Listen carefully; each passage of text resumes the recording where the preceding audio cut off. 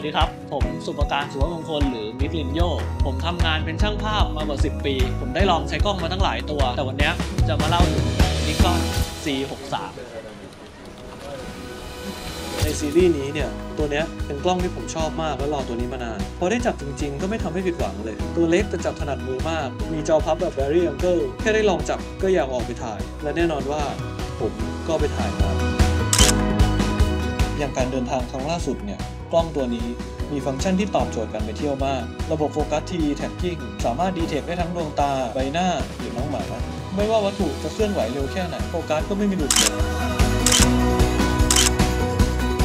และที่ไม่พูดไม่ได้ คือคุณภาพไฟล์ภาพนิ่งที่ให้ Dynamic Range ที่สูง ยิ่งใช้งานกับ Active D-Lighting แล้วเนี่ย คุณลืมเรื่องการถ่ายย้อนแสงไปได้เลย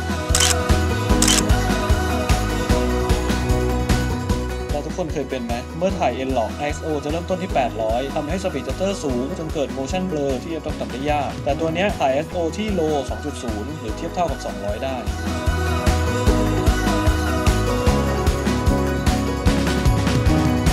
พอทำเพจท่องเที่ยวแล้วด้วยเนี่ย การมีโทนภาพประจำทำให้คนจดจำเราได้ โทนภาพที่ผมชอบใช้ปกติ จะเซต Picture Control เป็น Portrait แล้วเซต Brightness ที่บวก 1.5 Active D-Lighting Extra High และเซต Portrait Impression ได้อีก เนี่ยแหละเป็นฟังก์ชันที่ผมชอบใช้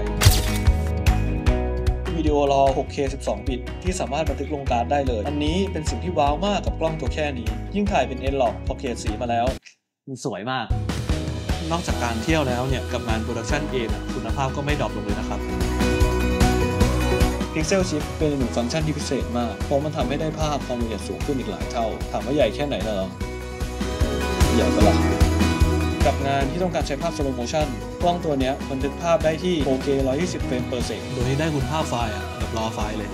แต่ถ้าไม่อยากพลาดจังหวะที่เกิดขึ้นไวมากๆเนี่ย เจ้า Nikon Z6III ตัวเนี้ยมีฟังก์ชันที่ชื่อว่า Pre-release Capture มันจะเก็บภาพก่อนหน้าที่เราจะกดปุ่มชัตเตอร์ไว้ด้วยผมมองว่ามันเป็นกล้องที่ทำงานได้ดี ทั้งภาพนิ่งและวิดีโอในขนาดกระทัดรัดแต่คุณภาพยังจัดเต็ม มันเป็นกล้องที่เหมาะทุกคนครับห